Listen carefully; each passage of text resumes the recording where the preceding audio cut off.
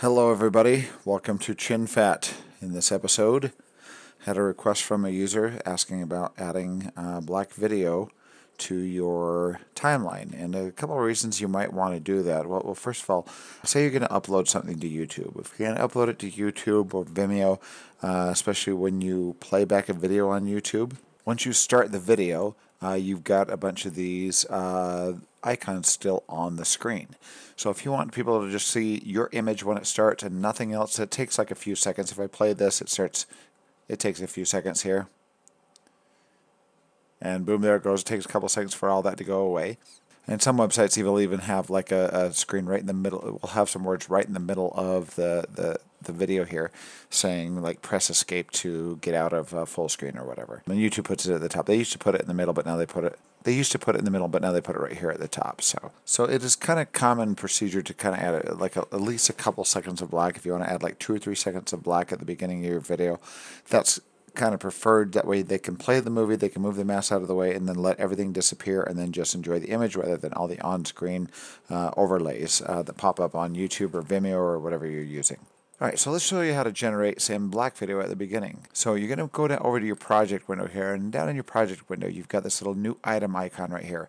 This uh, opens up new sequences, and it also is a uh, will, will create new generators.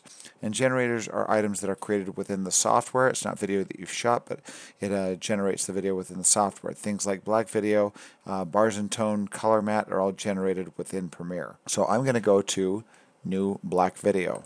And if you have a timeline open, it's going to base it off of the timeline uh, set. It's going to base uh, the resolution and the frame rate off of the timeline settings.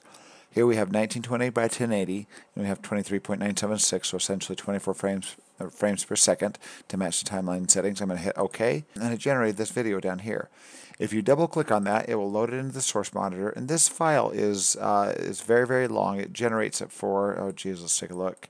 Let's zoom out all the way on this video here take our playhead to the end, and this is like nearly 12 hours long. So it's 12 hours long of black video. But we don't need that much. We want, don't want to generate uh, black video that long. And I'm hitting plus here to zoom up on my uh, on my timeline here. You can see that kind of zooming up. I'm hitting plus, plus, plus, plus. If you hit minus, minus, minus, it zooms out. But I'm going to zoom up here. Or you can just grab this and you can zoom out all the way or zoom in all the way. Say we want to create a pre-roll of uh, maybe three seconds of black video here. The way you do this is you can uh, you can grab your playhead and you can just drag it over uh, to three seconds and kind of get it on the time that you want here, right there. Oh, there we go, right there. Uh, but what I kind of like to do is if I'm at the beginning of the video on my numpad, this does not work. This does not work on the top of your keypad. This works on your numpad over to the right side of your keyboard uh, you can just type in the, immediately start typing in the uh, number where you want it to, to land. And I'm going to type I'm going to type the I'm going to type the number three, and you see it starts entering the value right here. Three, and you can do zero zero, which is uh, your frames basically. So that's three seconds and zero zero frames. If you wanted to go three minutes into this, uh, you would go three zero zero zero zero, and that is three seconds, or sorry, that is three minutes zero seconds and 00 zero frames. And a shortcut for that is actually period. If you just hit 3 period, the period is a placeholder for two zeros. So if I did two periods, it would be 30000, which would be 3 minutes, 0 seconds, 0 frames for the two, two zeros. But I'm going to arrow back, or I'm going to escape out of that. And I'm just going to hit 3 period, enter, the enter on the, on the numpad, everything, this is all in the numpad here, enter, and it will jump to three seconds exactly, which is really nice and convenient. If you want to go to one second, type in one, period, enter, two, period, enter, and it jumps to two seconds and zero frames. Uh, but we're going to do three seconds here and hit enter. I'm going to hit O for out point and I've got an, I've got an in point and out point on that now. It already had when you open up the black, it'll have an in point. It has an out point at like uh, four seconds and 23 frames, or whatever frame rate you're using. It'll be one frame uh, before it hits uh, five seconds. So if you're shooting, if you've got 30 frames per second, it will be it'll be at four seconds and 29 frames. The reason why it does that is because it want it assumes that you want picture to start at uh, at the exact five second mark. In this instance, I'm just going to do three seconds exactly. You can do you, you can do two and then uh, 23 frames or 29 frames, depending on what your frame rate is. I just like to do even um, uh, three seconds.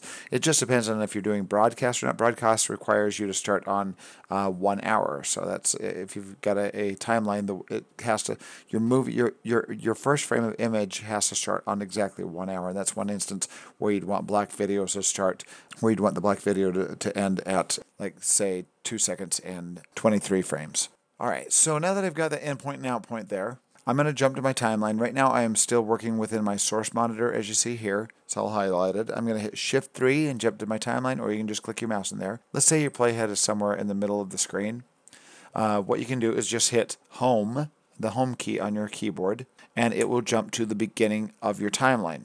Now I recommend if you need a fade in, you add a fade in before you add the black. It'll uh, it'll make things less complicated. So if I don't have a, a, a fade in there and I want to fade in, right here I'm at the beginning, I can hit, I'm on a Mac right now, so it's Command D as in dissolve. On a PC it would be Control D and it will add that fade in at the beginning of the video. Now my video will fade in. So I'm going to hit home to get to the beginning.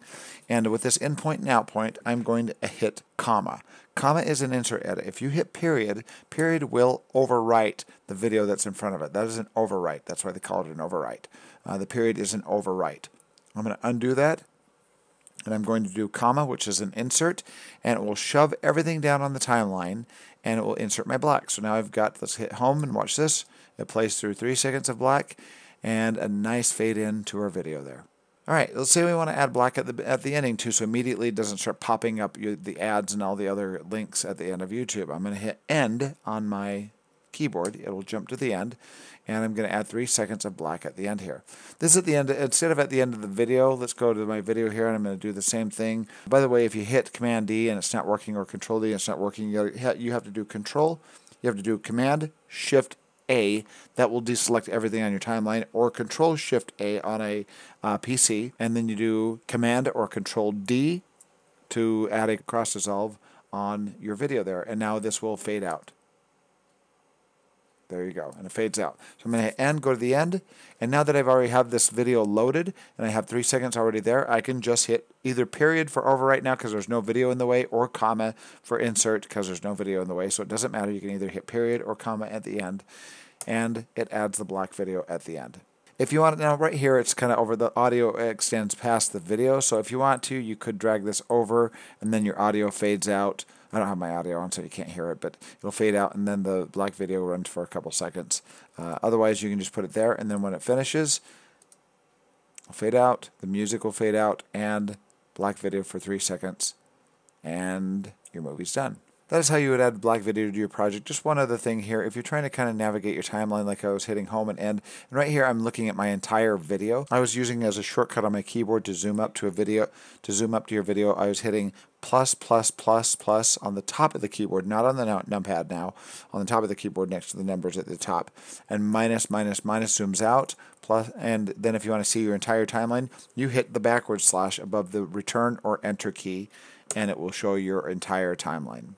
Well, that's it for this simple video. If you have any questions, please post them. And thanks for watching. Chin Fat out.